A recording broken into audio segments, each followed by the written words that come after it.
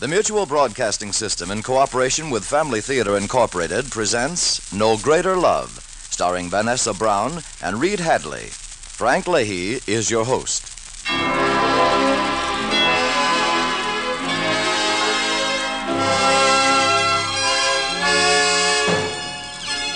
More things are wrought by prayer than this world dreams of.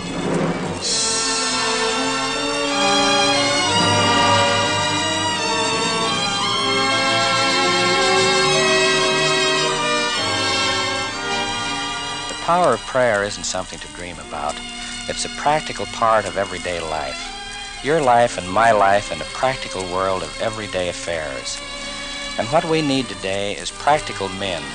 Practical men who pray. Men who realize that no matter how big they think they are, they still need God's help. We all agree the world would be a better place if we had more happiness in the homes. So let's be practical about making our homes happy. Let's get down to a very serious and important business in our lives. Let's not do a lot of talking about making the world better. Let's make our own homes, our own children better.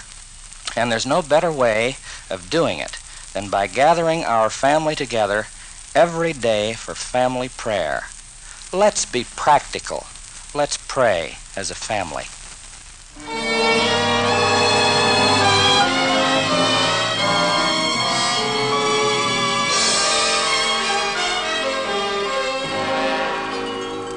Our scene the Manhattan office of a famous eye specialist. And, well, my eyesight started darkening up about six months ago. Been getting worse ever since. Hmm. Strange. Very strange. Tell me, Mr. Bailey, your mother and father, they ever have trouble with their eyes? Mom never had on a pair of specs in her life. Died about three years ago. And your father? Oh, Dad, he died when I was a little kid. As I remember it, he didn't see a team of horses coming and stepped right in front of them. But why? Extraordinary case. Very. Might possibly be hereditary. What might possibly be hereditary? Tell me straight, Dr. Walton. What are you leading up to? Mr. Bailey, you're. I've got to know the truth. You're going blind. Blind? Increasing pressure on the optic nerves induced by the curious bone structure. At most, you've got a year. Blind. But I've got to be able to see. I've got to. Not just for the reasons other people have. I'm a newspaper reporter. Do you realize what that means? Yes, I do. Without eyes, I'll be nothing. Doc, you've got to do something. I've got to have eyes. I can operate. Thank God. Yes, I can operate, but the chances, I should say, will be 50 50. Oh. Even so, what have I got to lose? As long as I'm going blind anyway. You've got your life to lose, Mr. Bailey. Doc. It's a delicate operation, a daring one. Nothing like it has ever been tried.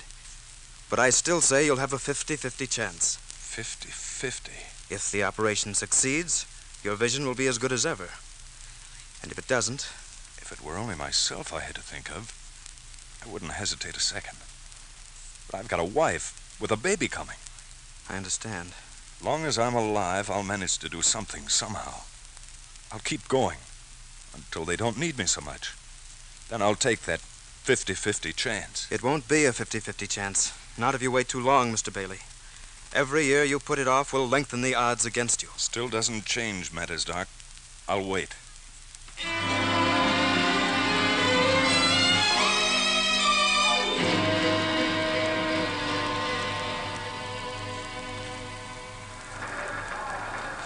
Where's that false alarm of a newspaper reporter? Somebody find me that guy Bailey before I fire the lot of you, him included. You looking for me? Well, if it isn't Mr. Bailey in person. Where in Sam Hill have you been?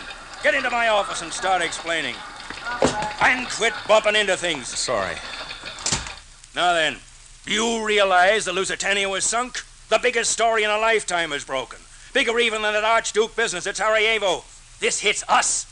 People right here in this bailiwick were on that Lusitania. And where were you when I want you? Well, you see, Ransom, I was. I won't believe you anyway, so quit wasting time. Go out and get me a local angle on that story. Who from here was on the boat? And the why, where, when, and what of it all. Well, don't stand there like a cigar store Indian. Listen, get going. Ransom. I. I'm quitting. Quitting? Who says you're quitting? You've got a lot of gall, you misprint of a human being. If it's a raise you want, more money, say so. Only don't come barging in You here. know it say... isn't because of more money, Ransom. You know I've turned down plenty of offers from other papers for lots more dough. Then why are you leaving? Now look, Bailey. You're a great reporter, yes. But this sheet gave you your chance. You were just a kid hustling papers when we took you in here. I myself hoisted you from copy boy to reporter. And now you're walking out. I started as a newsboy and became a reporter. Why can't I become a newsboy again? Yes. Are you batty? Don't stand there mumbling. Ransom, I'm going blind. Within a year, I'll be blind. What? You're. You're kidding. No. Blind. Gosh, fella, if. If there's anything I can do. There is. Headlines have been my life. And you've given me an idea how they can stay that way. Get me a good corner where I can sell papers. You sell papers? Oh, that can't be. It's got to be. But, Harry, You'd you sell can't- papers to feel that kid of yours, wouldn't you, Ted? Well, I can do the same for mine. Yeah, that's right. You've got a kid coming. A boy. It'll be a boy, Ted.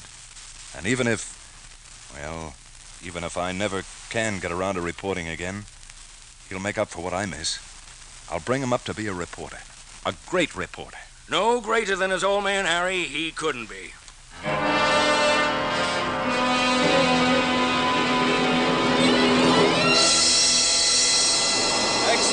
Extra, extra. Pershing chases Pancho Villa into Mexico. Ladies, extra. Harry, this is Ted Ransom. Yeah, I, I recognize your voice, Ted. Just dropped by to offer congratulations on the baby. Hope you weren't too disappointed that it was a girl. I was at first, but, well, a girl can be a newspaper reporter, too. And Katie, that's what we call her. She'll be the greatest newspaper woman of them all.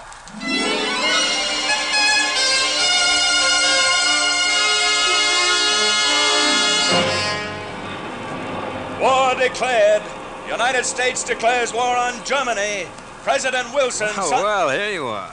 Doc. It is Dr. Walton, isn't it? Yes, Mr. Bailey. Decided yet to let me operate? I want to see you again at a time like this. Why, history's being made every hour and every headline. Oh, no, Doc. My little girl's barely a year old. I've still got a long time to wait.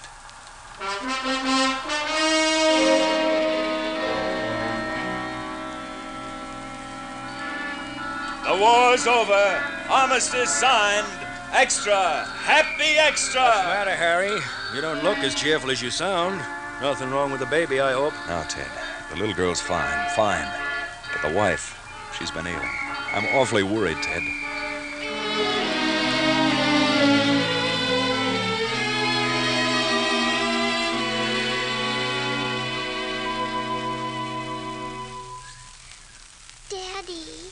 Yes, Katie, darling. did did Mommy go away? Far, far away. And won't she never come back? No, Katie. But you've got to be a brave little girl. Remember, you always promised her you'd be a brave little girl. Yes, Daddy. You know what else Mommy made me promise? What, darling? Once I saw her crying, and I went to bring the medicine, but Mommy said that wasn't what hurt. She said she was crying 'cause nobody would take care of you if she didn't. She. She said that. But I told Mommy I'd take care of you, Daddy.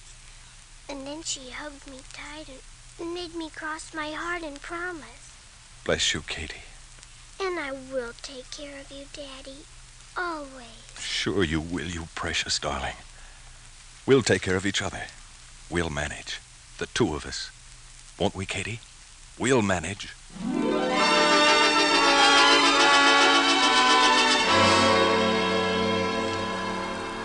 President Harding dies. Calvin Coolidge sworn in. Read all about it. I'll take one. Doc, it's you. I didn't think you'd remember me, Mr. Bailey. You know, it's more than eight years now. And every year counts against your chances of ever seeing again. I don't care anymore. I mean, like I used to. I'm all my little girl's got now, and she's worth anything. Anything.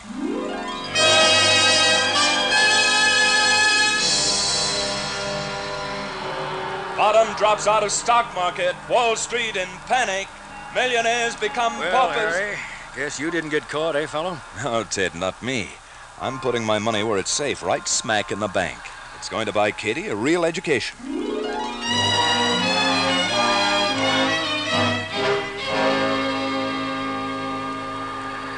Governor declares state bank holiday. Franklin D. Roosevelt prepares for inauguration. Mr. Bailey, you look ill. I'm, I'm all right, Doc. It's just, just my savings. The money that was going to send my Kitty to college, well, it was in one of those banks. Oh, no wonder you look sick. But I'll be all right, Doc. Everything will be all right. I'll manage somehow. I'll manage.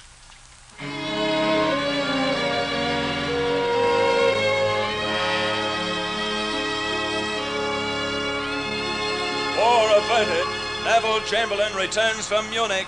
Promises peace in our time. Well, Harry, they ought to be going good today. Oh, hello, Ted. Yeah, they're selling like hotcakes. Bet it keeps you busy hustling over at the Journal. Ah, You said it. And I'm not quite as spry as I was, Harry. I sure could use a reporter like you used to be. Could you, Ted? I mean, would it have to be a man? Why not a girl? I, I mean, What are you trying to tell me? oh, I, I don't want to take advantage of you because of old times, but, well, Ted, my Katie, she gets out of college next spring, School of Journalism, and I thought if, well, she's at the head of her class and her professors all Sure, say. Harry. Bring her around when she gets her sheepskin. You really mean Be that, Ted? tickled to have her working for me. Oh, Ted. Skip it, fella, skip it.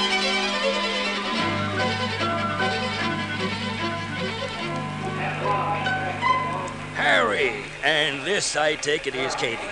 Father's always talked about you so much, Mr. Ransom. I almost feel I know you. Hope you didn't tell her what a slave driver I am, Harry. Um, let's go right into my office. You haven't forgotten, Ted, what you told me last fall? Oh, of course not. Now, sit down. It's a long time since you sat in this office, Harry. 24 years. But, Katie, uh, tell Ted, uh, Mr. Ransom, all about yourself. No, no need for that. Katie, all I want to know is, can you start to work Monday? She sure can. Oh, you won't be sorry, Ted. Katie'll be everything I wanted to be and more. You'll see. Father, you. You darling, I. I don't know whether to blush or, or cry. It's the day I've been waiting for. All these years. Mr. Ransom, could you show me my desk where I'll work? Of course. We'll be back in a minute, Father. No hurry. No hurry at all. Wait, Mr. Ransom. Here, where I can talk to you. Why, what's the matter? You look ill. Oh, I had to get out of there. I had to. And I've got to tell you. If I don't tell someone, I'll go mad. What? Tell me what? This job, I. I won't be able to keep it long.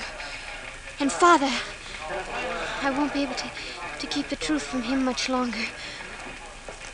I know it'll kill him. Young lady, what on earth are you talking about? My eyes. Oh, don't you understand? I'm going blind.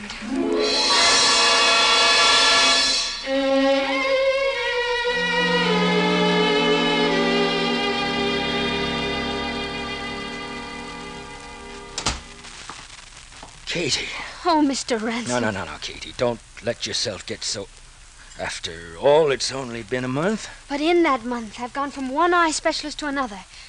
And they all say the same thing hopeless. Then they don't know what they're talking about. Oh, but Mr. Ransom, what shall I do? It's getting worse all the time, and Father's bound to find out soon. You've got to find a doctor who can help you. As if there were any. Oh, I don't care about myself anymore. It's Father. Otherwise, I'd give up, resign myself Young to it. lady, don't you ever talk like that to me. You've got to fight this thing through for yourself as well as your father. Why, you're young as spring with your whole life ahead of you. A whole life in the dark. No, no, no, no. There must be a doctor somewhere who. Say, wait a minute. Harry told me once, when he first went blind, that a doctor wanted to operate on him. He's never mentioned it to Oh, me. I'm sure of it, though. And Katie, you've got to find out who that doctor was. Oh, but if it was so long ago. It's a straw, but grab it. Can't tell. That doctor may still be around. I've gone to them all. Makes no difference. Find out from your father who he was. How? I can't come right out and ask Then him. ask him without coming right out, and do it tonight.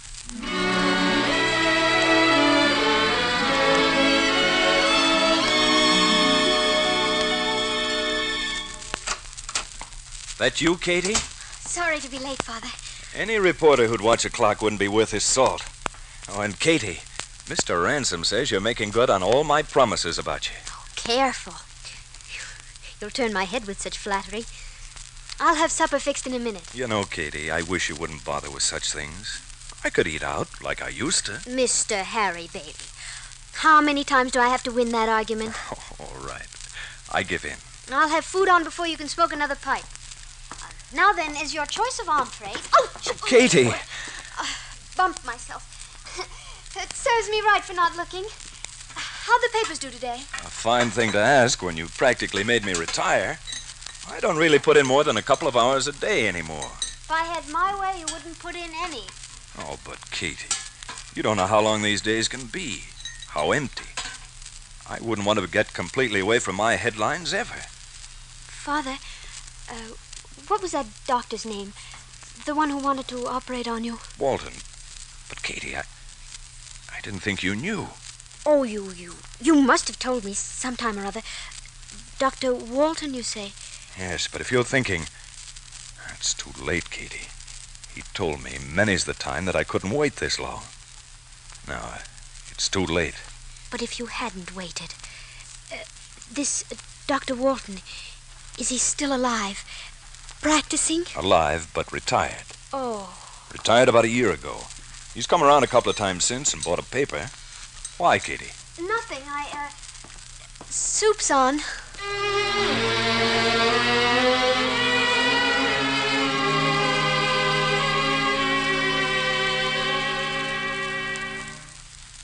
It's so good of you to see me, Dr. Walton.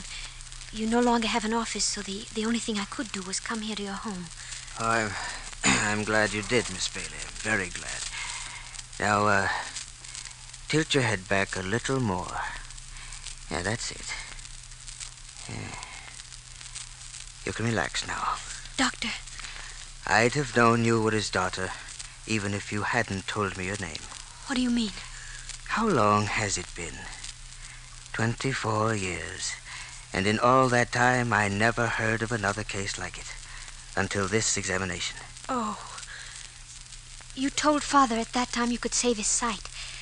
Could you? Would you try to save mine? Oh, please, I'll pay any fee. No, no, no fee could make me enter an operating room again. Then, Let me finish. I'll do it, but not for money. No. I'll do it because I think it could be, should be done. God bless you, Dr. Walton. Wait now. I must warn you, as I once warned your father. There's about a 50 50 chance. Either you see, or it's fatal. Fatal. If. if it is fatal, Father will be left all alone. No. Thank you, Doctor. I mustn't. But if you don't undergo the operation, you'll go blind. And in that In- case. until I do go blind, until I'm no longer any help to Father, I couldn't let you operate. And, Doctor, Uh, yes, Miss Bailey. don't ever mention anything about it to Father. Please.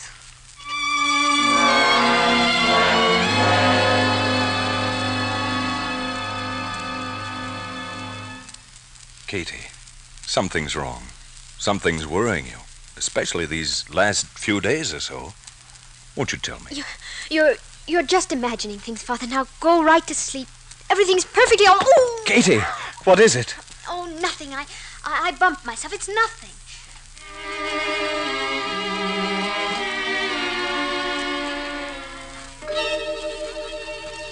Nothing. I uh, I bumped myself. It's nothing. Extraordinary case, very. Might possibly be hereditary.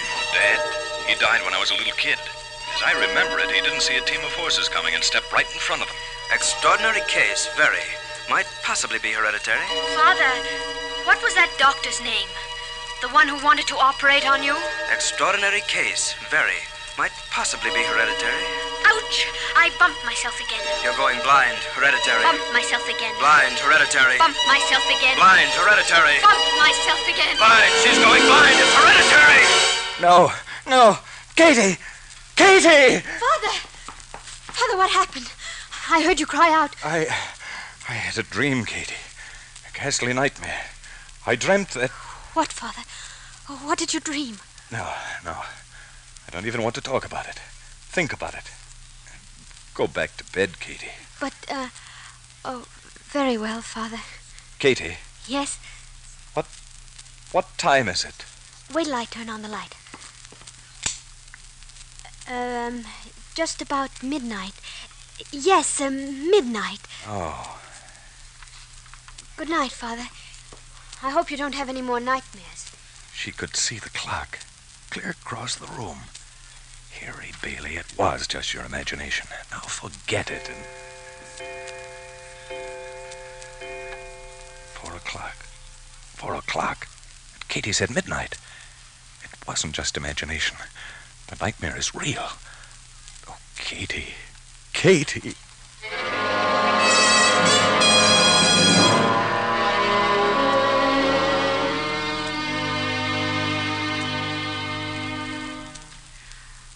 Mr. Bailey, I.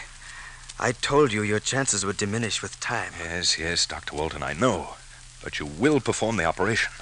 Your chances are so slim. Why, I'd say they were only one in ten now. It still doesn't matter. I won't let you make up your mind on the impulse, Mr. Bailey. It's a decision you've got to weigh seriously. Don't you think I have? But such odds. One of the reasons the odds are so big against me is because no operation like it has ever been performed before. Isn't that right? Yes. And even if. if I lose out, it won't have all been in vain. You of medical science will be better able to treat similar cases if. if they ever occur. Isn't that also true? Why, yes. So that's it, Mr. Bailey. That's why you've suddenly come now, after 24 years. You've found out. I don't know what you're talking about. I'll tell you the reason why I came. Because Katie, my daughter, isn't dependent on me anymore. Now I've only myself to consider. I'm not sure you've convinced me, Mr. Bailey. Listen, Doc, you've got to believe me. I stood it for her. Well, I had to. But now I, I can't go on being blind anymore. The way things are, Doc, I. I couldn't go on. Oh. Well, All right, Mr. Bailey. I'll do it.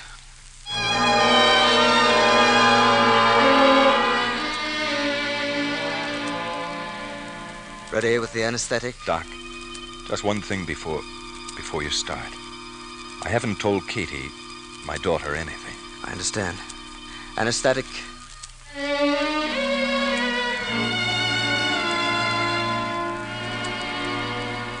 Nurse, call Miss Catherine Bailey at the Daily Journal. Tell her. Tell her to get over to the hospital at once, or she may be too late.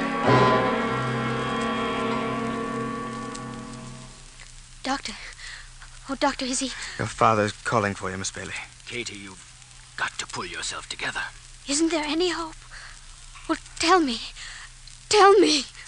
The surgery itself was a success, but it was too late.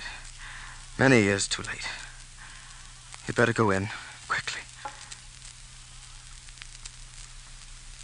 Katie, Father, you. You can see. Just as I pictured you, Katie. Just as I pictured you. Come closer. But. but the operation. The doctor said. I've just a little while. Minutes. But for those few minutes, God has given me back my vision. Oh, Father. Father. These are the happiest moments of my life, Katie. Don't spoil them with tears.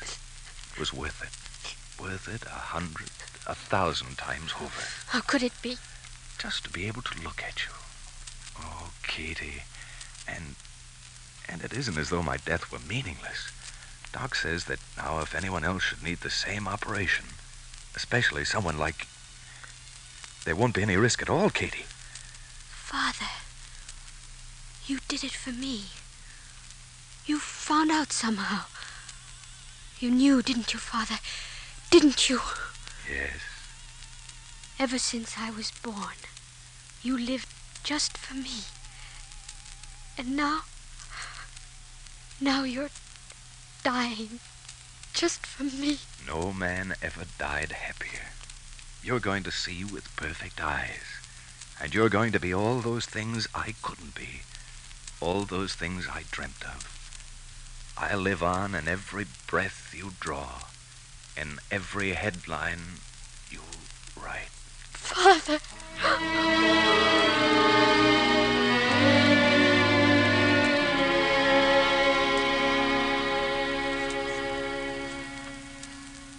Hello. Hello, Ted Ransom talking. Listen, I want you to stick this story at the top of the front page. And I. I don't care what you have to throw out. You get this story on page one. Yeah, and in all the editions. Here, Katie. Ready?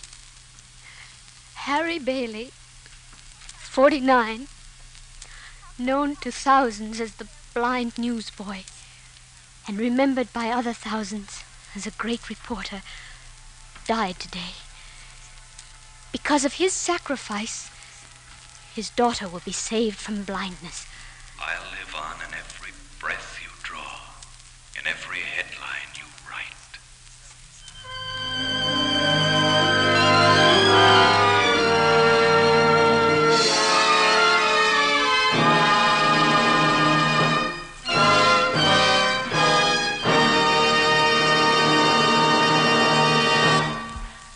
The world is renewed in every generation by the ideals of youth. Young people are usually out to improve the way we oldsters do things. Maybe sometimes they're right, even if we hate to admit it. Oh, I'm not implying that we as parents have been anything like failures, but I guess we're all willing to admit there's usually room for improvement. And here's an improvement that we won't have to wait for the next generation to tell us about.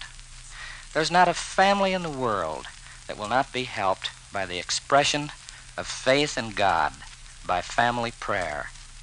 Maybe that's what the world needs more than anything else right now. So pray together as a family. Make daily family prayer a family practice, and there will be true happiness and harmony in your home. Because a family that prays together stays together. This is Frank Leahy saying good night, and God bless you.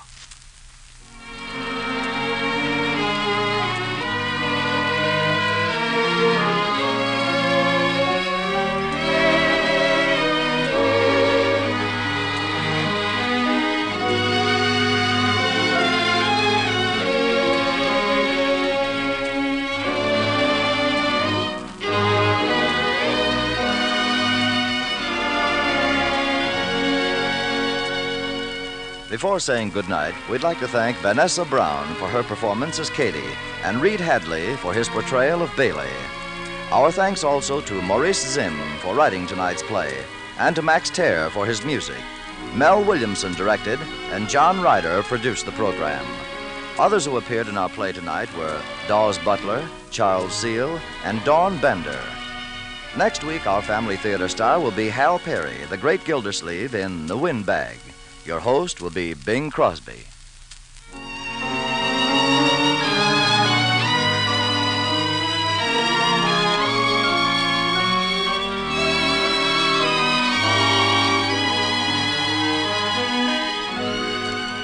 This series of the Family Theater broadcast is made possible by the thousands of you who felt the need for this kind of program, by the Mutual Broadcasting System, which has responded to this need. Tony La Frano speaking. This is the Mutual Broadcasting System.